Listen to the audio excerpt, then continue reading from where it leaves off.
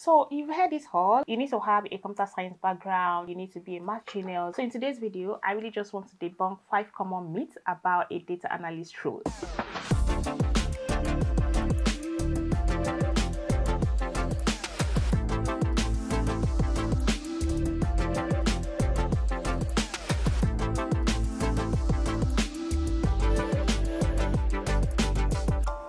Hi, welcome to my channel. My name is Adebola. I currently work as a remote data analyst and I've been working in this role for more than three years now and I have six years of corporate work experience. On this channel, I share things around data, around helping you to land your first data analyst role. I share things around productivity that can really just help you to level up your career. In today's video, the first myth that I would speak on is around people saying you need to have a computer science background or you need to have a master's degree.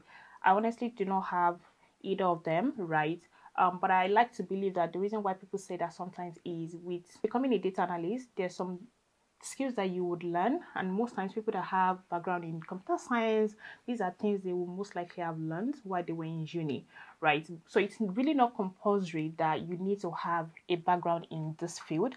It's just like to give you an upper edge and whatever that you're learning because for people that don't have background in computer science they will most likely be you know learning it for the first time. So if you're someone that is looking to become a data analyst you're looking to explore a career in the data science field you do not need to have a background in computer science. Whatever career or whatever degree that you currently have it can definitely get you started. And any new skills that you need to learn in becoming a data analyst these are things that you can learn and you can thrive in the role. So the second myth is that building dashboards and visuals that it's easy and that's all data analysts do. That's not all what data analysts do. And I'm saying this from from my own personal experience. Building visuals is one of the things that I struggled with the most.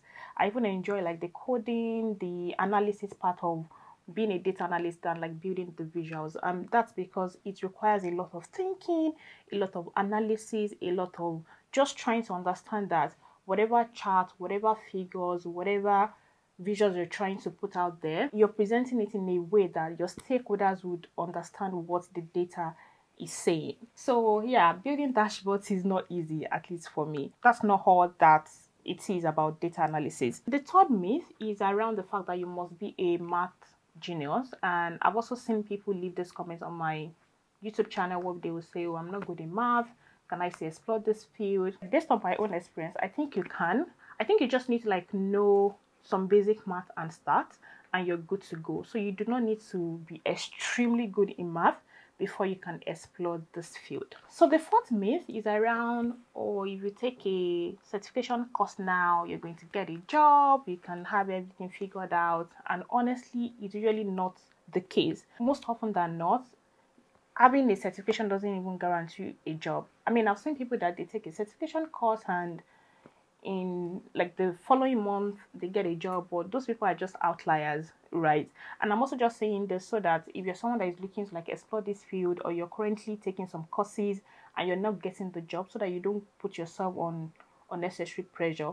So the final myth is around the fact that data analysis is all about numbers, right? So even though numbers is a big deal or like is a big thing of what we do. If you currently work as a data analyst it revolves more than that. So there is the storytelling there is the analysis there is the communicating your insights like your different stakeholders. And i hope this just give you like a full picture of the fact that numbers is not on is not the only thing that data analysts do. So i think those are like the five myths. I hope this makes sense. I hope you've picked one or two things if there's any myth that you've also you know hear around or, like you've heard people say please leave them in the comments.